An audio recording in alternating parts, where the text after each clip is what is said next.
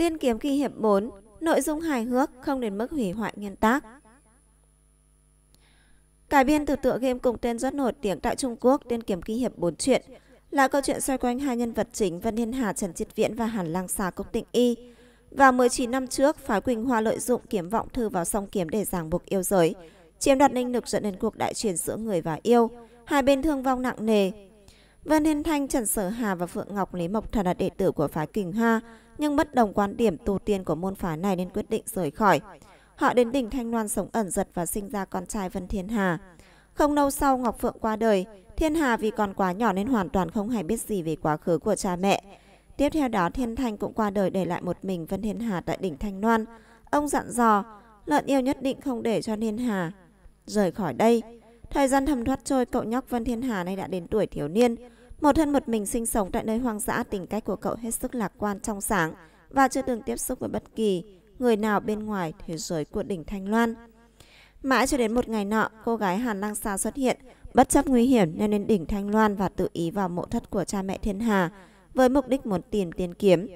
Tiên kiếm này cũng chính là kiếm vọng thư mà cha của Thiên Hà để lại cho cậu.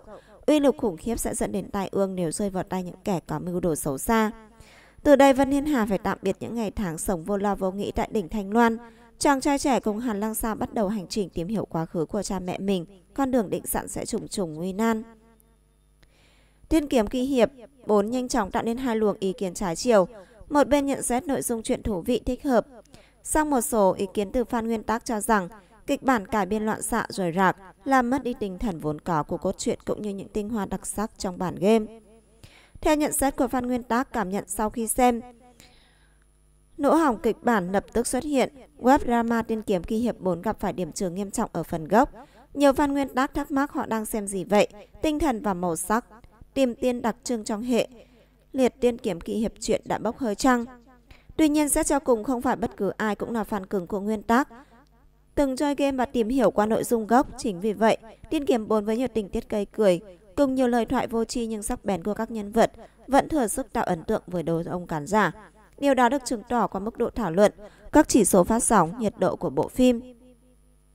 Dễ dàng thấy bối cảnh nhân tạo của đỉnh Thanh Loan, đạo cụ kém chân thực. Màu phim vừa tối vừa cũ kỹ thời ông bà Anh, hiệu ứng kỹ xảo dừng lại ở tầm trung thời đại 5.0, nhưng không đến mức gây khó chịu cho người xem. Bỏ qua những hạn chế không quá trường mắt, Cúc Tịnh Y được khen tiến bộ Trần Chiết Viễn tràn trề sức trẻ. Tương tự phần kịch bản nhận xét về phần thể hiện của hai diễn viên xuất hiện hai phe bất đồng quan điểm. Một phe bênh vực khen ngợi hết lời, phe còn lại buông lời chê bai không thường tiếc, phủ nhận toàn bộ công sức của cặp đôi. Nhưng một điều mà hẳn ai cũng thường xuyên theo dõi Idol 4.000 năm có thể thấy rõ, vai diễn Hàn Năng Sa lần này thực sự phù hợp với cô nàng. Tạo hình không còn riêm rúa, phục sức dườm già hay trang điểm dày cộp như đa số các vai diễn trước kia, biểu cảm của cô nàng cũng linh hoạt sinh động hơn rất nhiều. Nét tinh quái luôn nẹo và nằm nũng của cô nàng đã đồn tim không ít khán giả. Nội diễn xuất đã tự nhiên tận dụng triệt để các hành động cử chỉ nhỏ, cơ mặt để mang đến sự tươi mới tạo điểm nhấn cho nhân vật. Hy vọng hy vọng Cúc Tình Y sẽ giữ phong độ và tiếp tục chinh phục người xem.